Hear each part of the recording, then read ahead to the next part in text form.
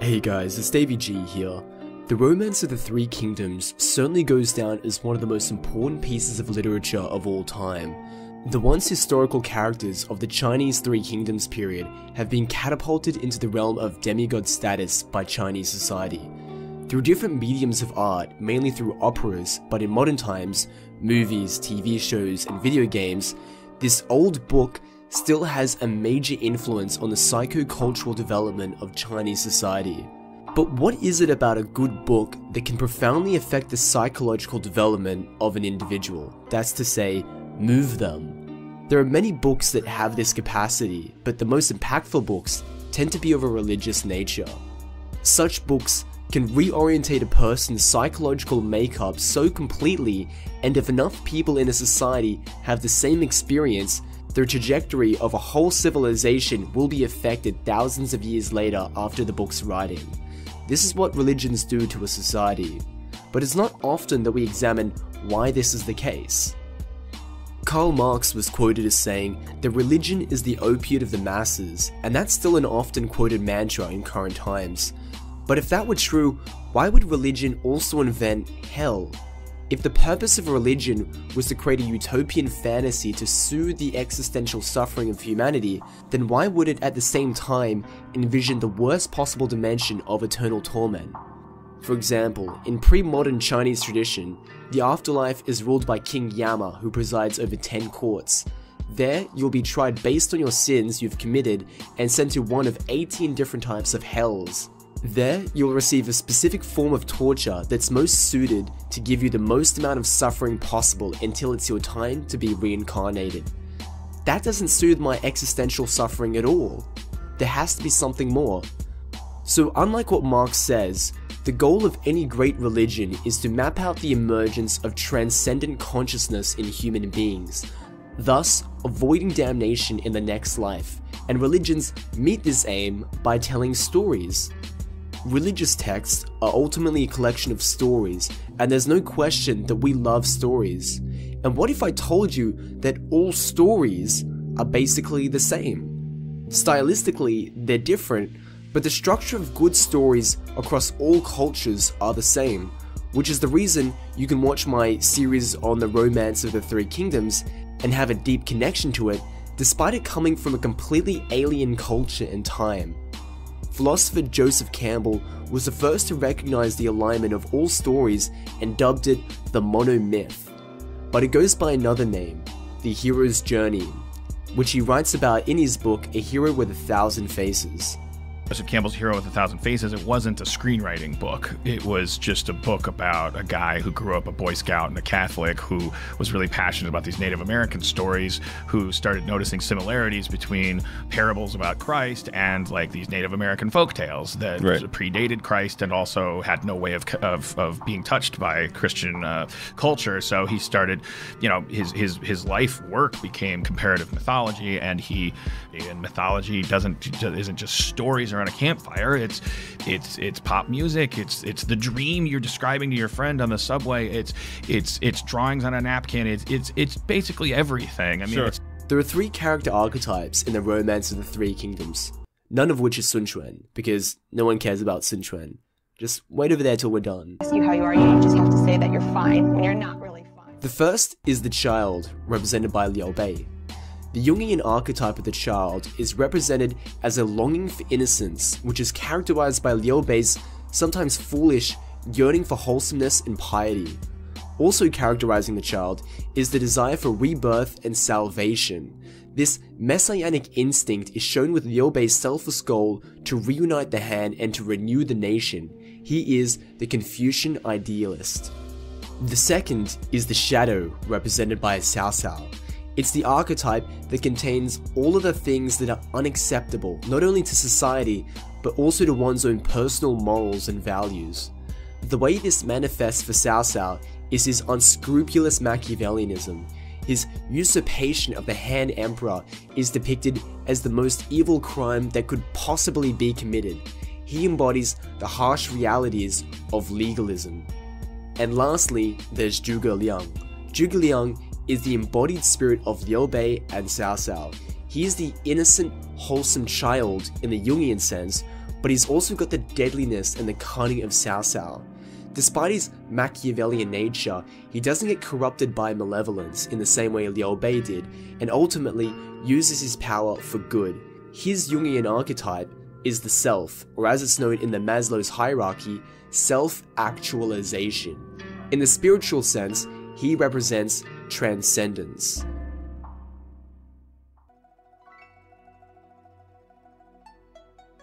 Like any hero's journey, the protagonist starts off weak, facile, and even a bit naive. We love Liu Bei as a character, but in the beginning, he can't really do much, can he? He's a neglected scion of the royal house growing up in poverty. He weaves mats for a living, and he's utterly at the mercy of his environment. The beginning of his hero's journey starts with the call to adventure, which is him taking up arms against the Yellow Turbans, something we didn't specifically cover in the series. He takes up arms for a noble cause, and then he gets supernatural aid. The supernatural aid comes in the form of the Oath of the Peach Garden ceremony, which isn't like ceremonies that we're used to in the modern day. A ceremony in the modern day, for instance like marriage, doesn't require anything, it's just your word. And it's not a surprise that divorce is so common because there's nothing to back your words, they're just words. Ceremonies, back in the day on the other hand, involved sacrifice, and that's exactly what the trio would do. They would sacrifice a black ox and a white horse. Those are not expendable things, especially if you're poor. It's the equivalent of you burning your wallet with all your money inside. So whatever oath they're taking, they must be pretty damn serious about it. Quote, we three, Liu Bei, Guan Yu, and Zhang Fei, though of different families, swear brotherhood and promise mutual help to one end. We will rescue each other in difficulty. We will aid each other in danger. We swear to serve the state and save the people. We ask not for the same day of birth, but we seek to die together. May heaven, the all-ruling, and earth, the all-producing, read our hearts. If we turn aside from righteousness or forget kindliness, may heaven and humans smite us. So off the adventurers go, spiritually infused with purpose.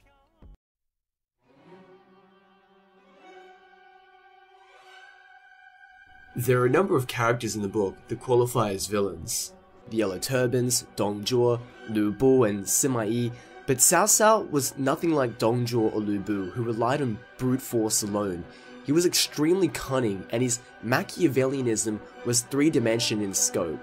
The records of the Three Kingdoms describe Cao Cao as a hero who devised and implemented strategies, lorded the world over, wielded skillfully the law and political techniques, and unified the ingenious strategies of Han Fei. The world of legalism was about seeing the world in the most pragmatic and realistic sense. In the real world, the strong dominate the weak, the smart overcome the foolish, and this world is essentially just a Hobbesian nightmare of scarcity and gnashing teeth and endless power struggles. And is that wrong? Well, according to the Liu Beis of the world, of which most people who grew up in the developed first world and get liberal arts degrees with their soy lattes and their veganism are, they'd say that all the fault lies with evil old Cao Cao, and if there were fewer Cao Caos in the world, the world would be a better place. But in Cao Cao's worldview, Liu Bei putting his idealism ahead of his realism is putting the cart before the horse, and he's right. He's 100% right, and that's terrifying. The terrifying truth is Cao is in fact a more evolved version of Liu Bei. What's the point of having virtue if you're not capable of backing it up with strength? Being moral but being weak doesn't make you a good person, it's just the equivalent of being a nice guy. You might say that someone who's incapable of cruelty is a higher moral being than someone who is capable of cruelty, but that's wrong. Because if you're incapable of cruelty, then you will 100% be victimized by someone who is.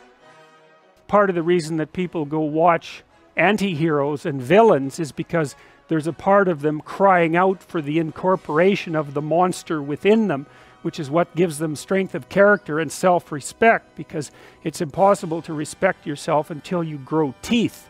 And if you grow teeth then you realize that you're somewhat dangerous and or maybe somewhat seriously dangerous and then you might be more willing to demand that you treat yourself with respect and other people do the same thing. Cao Cao is exactly that.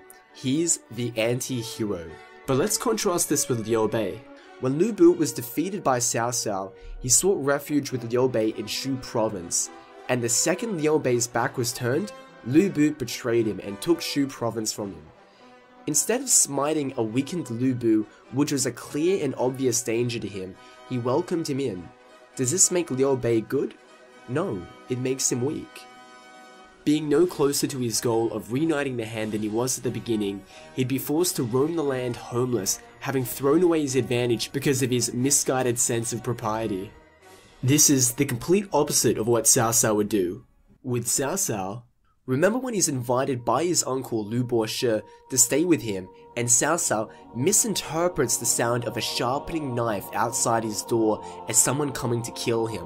Well, he doesn't discover that it was all a misunderstanding until he butchers his uncle's entire family. He thought they were plotting to collect the bounty on his head to give to Dong Zhuo. How then will he be able to reunify the land if he's dead? When the uncle comes, Cao Cao thought, I've just killed his whole family. If I let him live, he'll dob me into Dong Zhuo. How then will I be able to reunite the land? And as such, he kills his uncle too. Well, if you're run by cold-hearted pragmatism, everything about what Cao Cao has done is entirely rational. And this event highlights why Cao Cao became so successful. He was willing to sacrifice more than the other warlords. Liu Bei only sacrificed two measly farm animals, and he keeps being taken advantage of. But Cao Cao, on the other hand, was willing to sacrifice his whole family and is able to become the most successful warlord of northern China.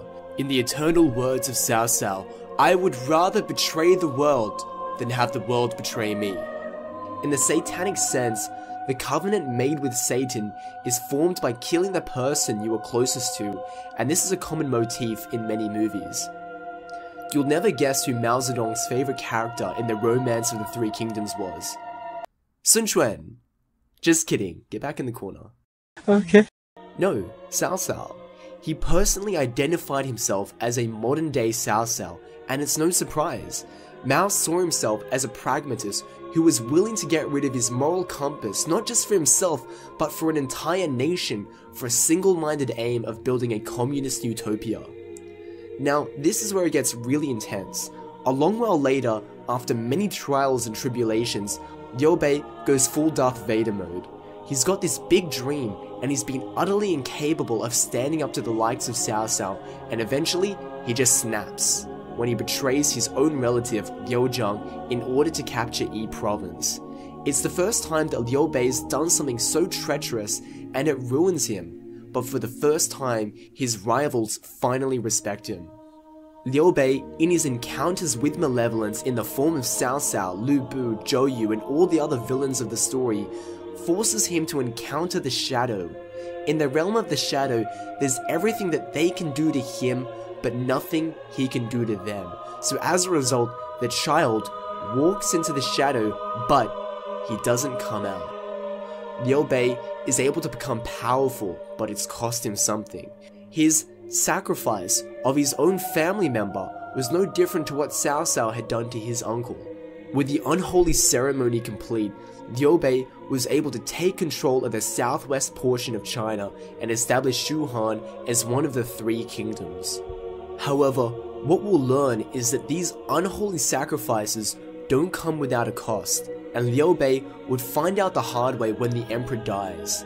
With the death of the last Han emperor, everything that Liu Bei has fought for, everything that he has rested his principles on, would die with it, and the only thing that he is left with is a deep resentment. This resentment is so strong that the entire purpose for his being would be about revenge, and the childlike innocence and Confucian idealism that defined him would die as he realized the truth about the world. In the words of Pang Tong to Liu Bei, to adhere to the ideas of abstract rectitude is to do nothing. One must be an opportunist, and next the weak attack the willfully deluded and seize the recalcitrant. Those are some strong words, and at this stage of the story, Liu Bei doesn't have reason to believe that that statement is anything but 100% factual. The encounter with malevolence is a major feature of the human condition, and the inability to integrate these very rough lessons is what leads to resentment, as the suffering itself is enough to cause you to resent the very essence of being itself. In Liu Bei's case, the discovery of what is makes him bitter and resentful, and this is proven by the fact that Liu Bei takes his vitriol out on Wu instead of Wei. Wei was the one that usurped the 400 year old Han dynasty, not Wu. Liu Bei would take it out on Sun Quan, who he felt had taken the last remnants of his humanity by killing his brothers. The irony is, Sun never killed his brothers, but they died as a result of their own vices. Guan Yu dies essentially because of his arrogance, and Zhang Fei dies because of his cruelty and brutality. It had nothing to do with Sun but knowing Wu to be an easier target than Wei for dishing out merciless retribution, Liu Bei puts the target on Wu and makes it his aim to sow destruction. It's clear that Liu Bei's goal was destruction because Sun Quan proposed to seek justice for the death of his brothers by offering to hand over Zhang Fei's murderers and offering to return Jing province back to Shu. So it's clear that with Liu Bei refusing this offer, his sole quest was to seek destruction. Quote, Sun Quan slew my brother. I hate him so much that I could eat his flesh with gusto and devour his relatives. A complete 180 in Liu Bei's character. And do you remember the oath that Liu Bei took in the Peach Garden? If we turn aside from righteousness or forget kindliness, may heaven and human smite us, and smited he gets. Liu Bei is defeated. His encounter with the shadow ultimately corrupts his soul, and all the good in him dies.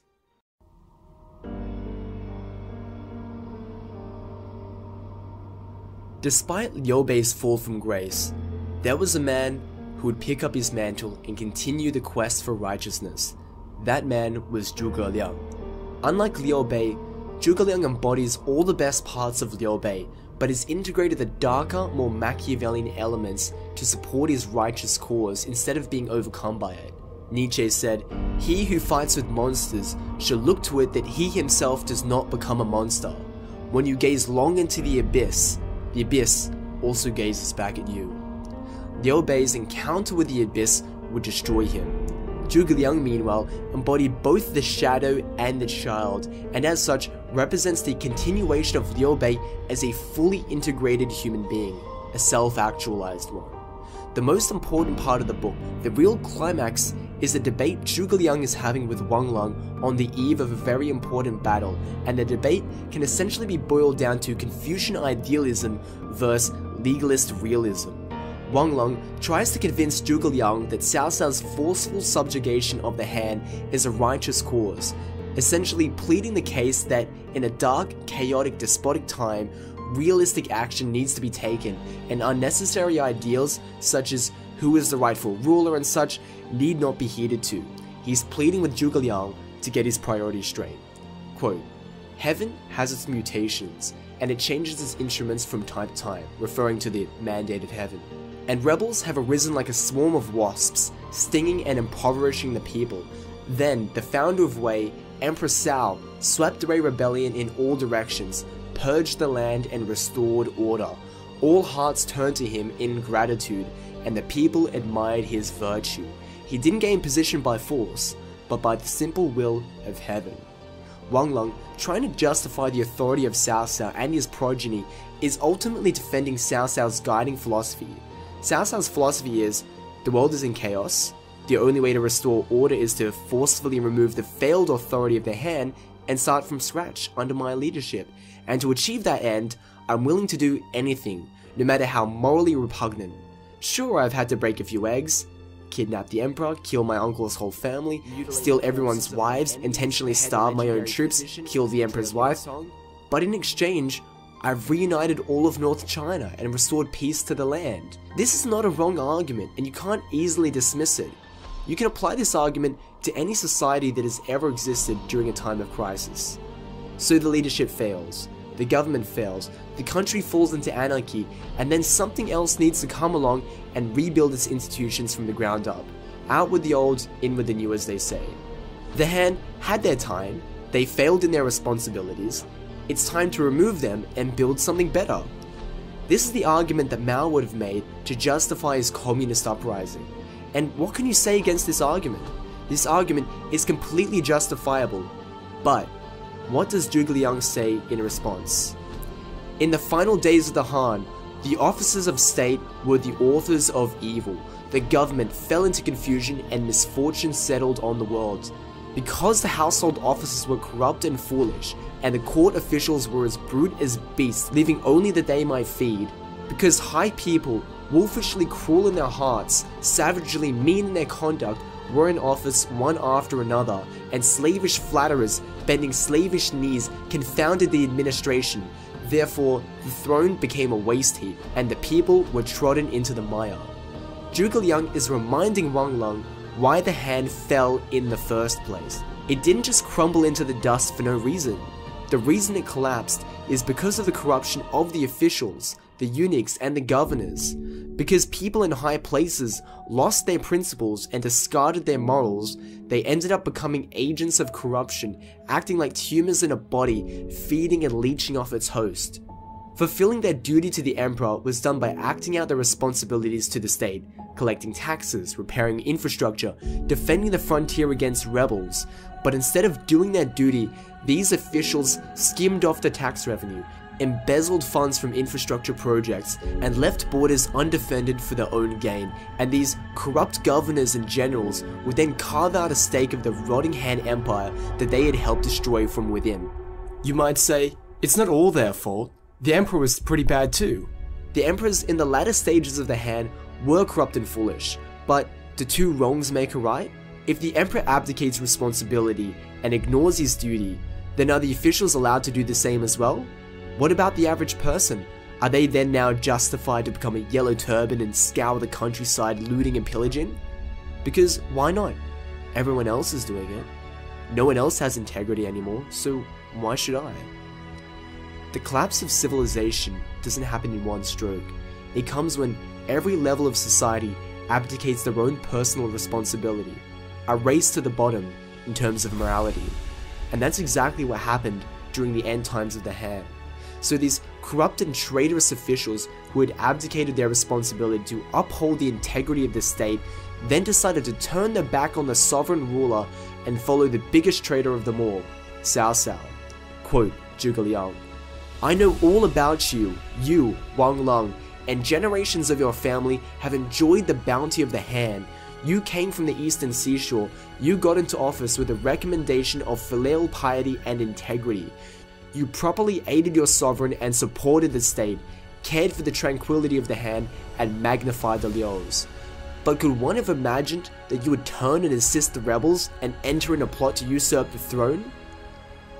You ever heard the saying, there's no loyalty amongst thieves. If you group together a bunch of traitors, have them establish a new regime, what's going to stop them from betraying the regime? One of their officers might get a little ambitious, and when no one is paying attention, he might usurp the throne in the same way Cao did.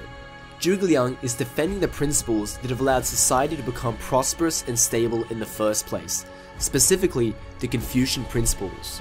Number 1. Loyalty.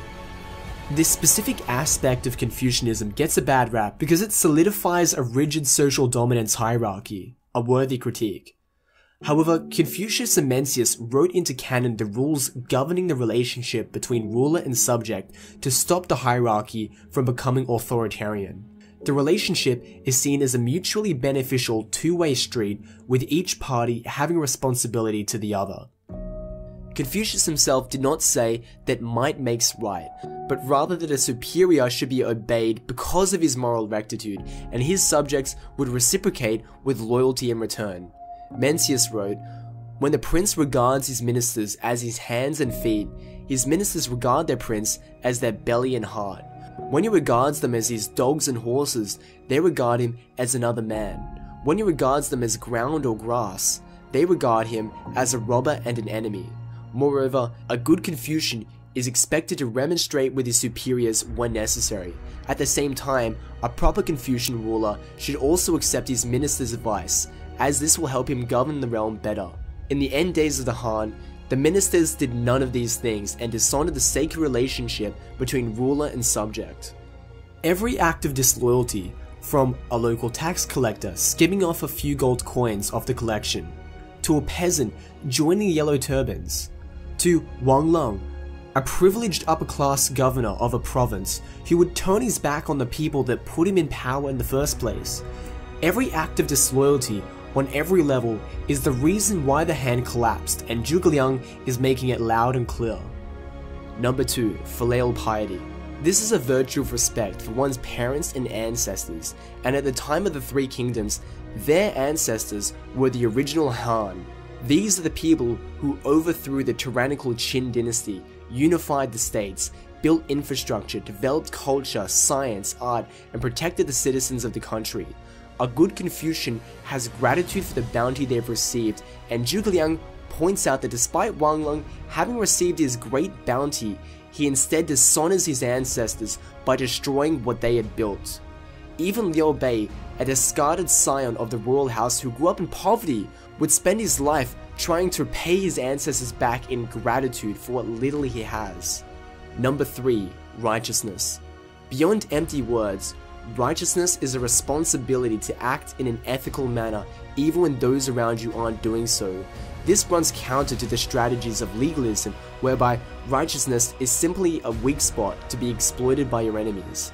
These Confucian edicts acted as the moral bedrock of society, and they would be attacked by the likes of Qin Shi Huang, Cao Cao, and eventually utterly destroyed by Mao Zedong 2,000 years later. But that's a story for another time. For now, Zhuge Liang, countering Wang Lang's argument for moral relativism, would rest his case, and so powerful was the truth, so sharp and potent was the truth, that Wang Lang was overcome it and he was struck dead in an instant. But as we know in the story, Zhuge Liang was unsuccessful in his attempt to reunite the Han, and most people who read the book get disenfranchised with the ending because they misinterpret the ending as a justification for evil and Machiavellianism. But it's more complex than that. The book is a Shakespearean tragedy, and in the end, no one wins. But the traitors were themselves betrayed, and Sima Yi would line for line do exactly as Cao Cao did. He would amass power in court for himself, use the emperor as a puppet, and his progeny would then dispose the child emperor, forming a new dynasty, showing us the inevitable conclusion of Cao Cao's legalistic philosophy and thus disproving it as a long-term solution for a stable and prosperous society. Zhuge Liang was willing to sacrifice himself in order to uphold morality, as he said to a dying Liu Bei, I will wear myself to the bone in service of your son. And he does this all the way to the end, even when his enemies are giving him a chance to turn back and quit. Despite facing a far stronger nation and having all the odds stacked against him, Zhuge Liang didn't once consider stopping until he either succeeds or drops dead. The sacrifice of himself to bring due justice is a selfless act that ultimately provides the example for the audience for what the perfect individual should be like. One must be willing to sacrifice themselves entirely if they desire to uphold their moral integrity, even if it means failure in the end. As the saying goes, if you have nothing to die for, you have nothing to live for. As the audience, the lessons we can extract are the weakness of Puritan idealism, the strength and failure of Machiavellianism, and the necessary sacrifice required to uphold the truth and righteousness. Let's not casually throw away these ancient stories and let's see what ancient wisdom they have that can be applied to our lives.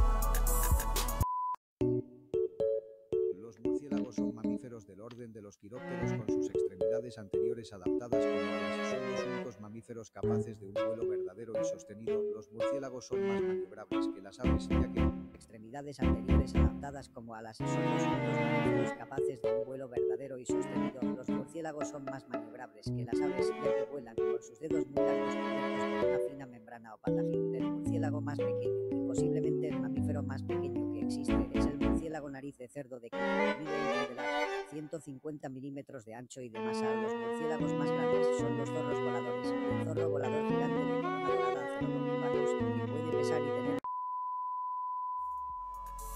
Thanks for watching. If you like this video, make sure to give a like and subscribe to see more. I still have more to learn, so leave a comment below and tell me what you think.